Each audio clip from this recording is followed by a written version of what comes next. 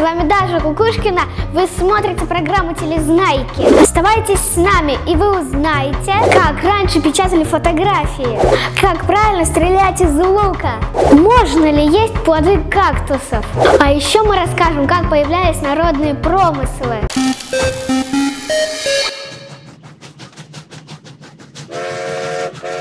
Сейчас мы можем слушать любую музыку в любое время, в любом месте, а когда-то в эпоху граммофонов это было неслыханной роскошью.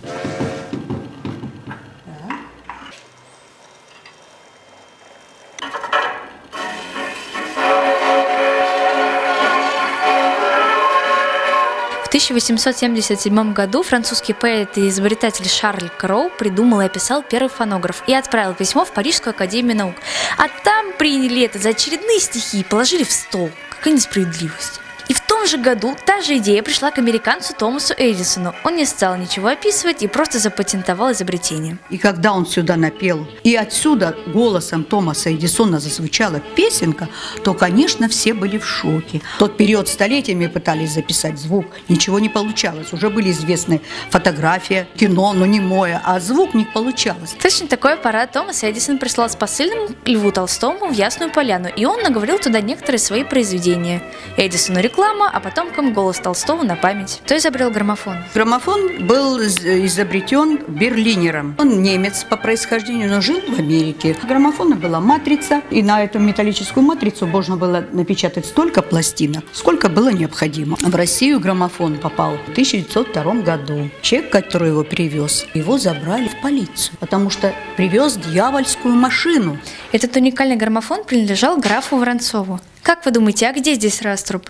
Звук шел из этой вазы, а скульптура девушки сверху слушает. Они делались из очень хороших пород дерева, обильно украшались накладками, изразцами.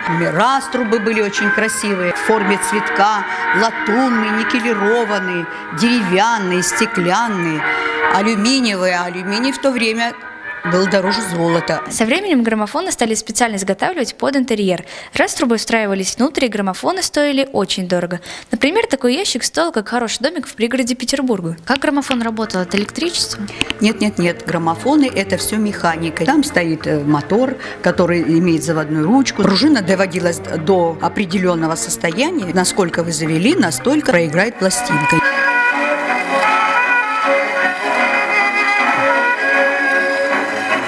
Граммофоном выпускалось огромное количество прибамбасов. Игл, аппараты для заточки, игл, а детям дарили шоколадные пластинки, которые они могли послушать и съесть.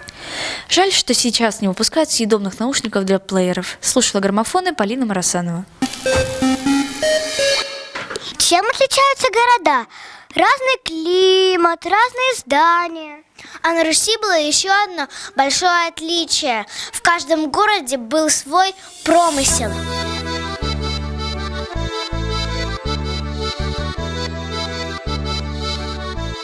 А почему в каждом городе свой промысел?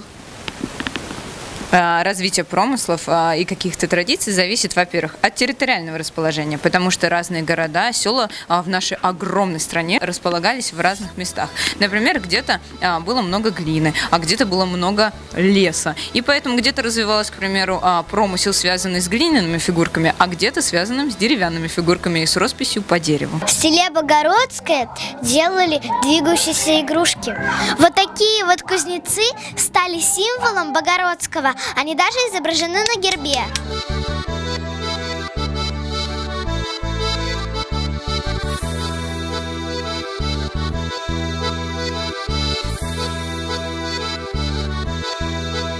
В городецкой росписи должно быть много цветов.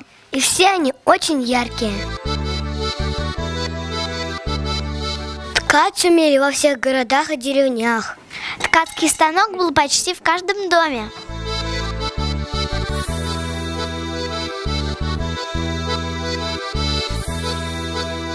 Чем ремесло отличается от промысла? А, но ремесло – это когда просто человек что-то делает своими руками. Промысел, да, от слова что-то промысливать или, может быть, продумывать. То есть, когда человек делал что-то своими руками и начинал на этом зарабатывать какую-то небольшую денежку, золотые монетки, то, собственно, это уже его дело превращалось в промысел. Все знают тульский пряник, но на самом деле первый пряник появился в Архангельске. Он назывался козуля, а еще пряники делают в Вологде.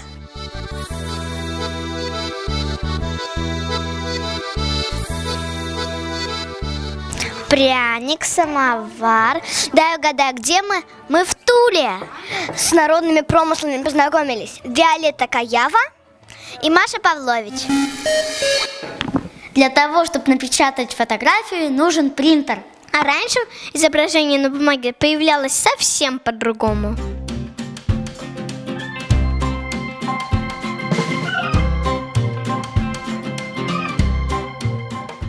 Фото с древнегреческого переводится как свет, а графа – рисовать. Значит, фотография – это светопись. Сейчас я хотел бы вам показать э, основной э, принцип, на котором вся фотография и светопись держится. Это устройство называется камера обскура. Видите, здесь, здесь находится маленькая дырочка, а там э, внутри просто э, экран из кальки. Лучи, они попадают в это отверстие и проецируются на вот этом экране. Как изображения появляются на бумаге? Для этого мы используем вот такой специальный прибор, называется фотоувеличитель. Здесь находится лампа, потом несколько линз, затем свет попадает у нас сюда на рабочую поверхность. От обыкновенной бумаги, фотобумага, отличает вот этот блестящий слой. И он такой, потому что он пропитан специальной фотоэмульсией. Добавлены светочувствительные кристаллы. Они под воздействием света темнеют. А почему нужен красный свет? Бумага, на которой мы будем работать, она к этому свету не чувствительна. Она красный свет не видит. Негатив – это изображение наоборот. Все черное становится белым, а белое черным. Чтобы сделать фотографию, люди использовали такие стеклянные пластины, которые тоже, с одной стороны, пропитаны фотоэмульсией. Чтобы рисовать цветом, не нужен фотоаппарат, а нужно просто положить на фотобумагу любые фигуры. И раз, два, три. Чтобы изображение появилось, надо искупать фотобумагу три раза. Проявитель, вода, закрепитель. Те участки, которые хорошо пропускают свет, на бумаге в итоге черные, потому что туда попало много света. Те, которые были белые, стали черными. А теперь фотография отправляется в сушку.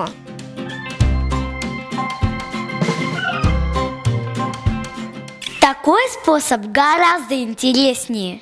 Работали в фотолаборатории Маша Киселева и Арина Никифорова.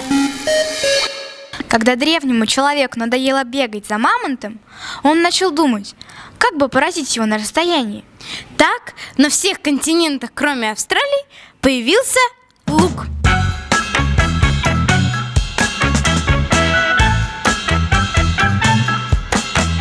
Луки бывают прямые, бывают луки э, рекурсивные, то есть с изгибом плечей. Бывают луки блочные. Прямой лук нам известен с самой древности, начиная с каменного века. И по текущий момент стреляют люди там в джунглях Амазонки где-нибудь из примерно таких луков. В Азии использовались, конечно, сложносоставные луки. Современные луки, которые используются в том числе на Олимпийских играх, рекурсивные. Каких деревьев э, делали э, луки обычно? Конечно, лучше гибкие породы древесины, это, например, орешник, кизил, тисовое дерево, достаточно Когда древнему человеку надоело бегать за мамонтом, он начал думать, как бы поразить его на расстоянии.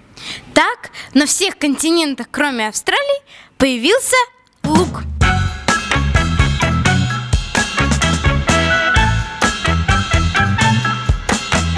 Луки бывают прямые, бывают луки э, рекурсивные, то есть с изгибом плечей. Бывают луки блочные. Прямой лук нам известен с самой древ-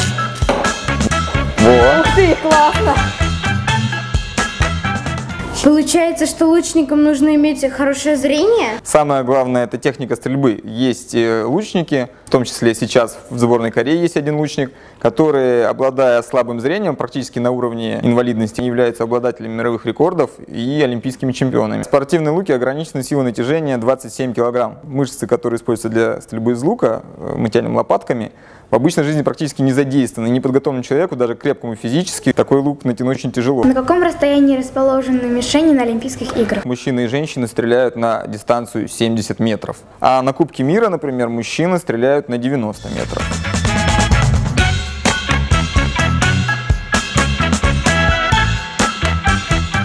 Специалисты говорят, что учиться стрелять из лука надо всю жизнь. Ну а азы мы освоить успели. Стали лучниками первого уровня Аня Пулина и Анжелика Соколова.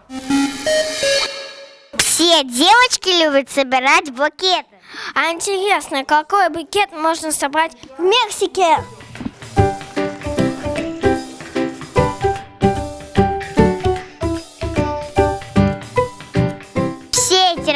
Растения можно встретить только в Мексике и в ботаническом саду. Все, что находится в этом помещении, это редкие исчезающие растения. Вот астрофитум астериас, астрофитум звездный. Вот видите, похож на морскую звезду. Это растение в природе практически уже не встречается. Природа Мексики достаточно своеобразна. Это гористая местность от тысячи метров над уровнем моря и выше. Много ветра, очень много солнца и крайне мало воды. Кто такие суккуленты? Суккуленты – это растения, которые живут в засушливой местности и имеют водозапасающие ткани. Это видно по их облику. Вот такие утолщенные листья или очень толстые стволики или стебли. Происходит от латинских слов «сукус» – сок и «лентус» – вязкий.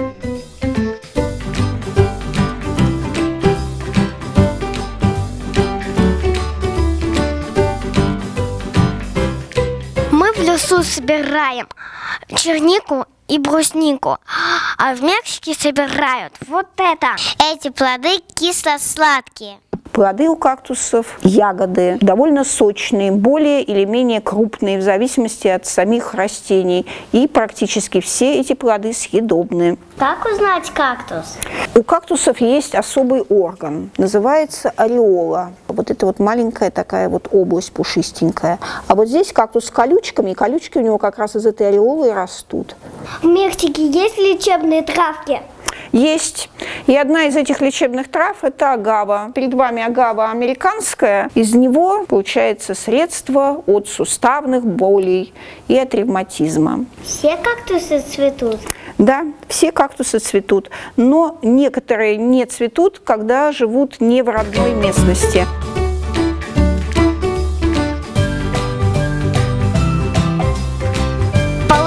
В Мексике можно собрать очень колючий букет.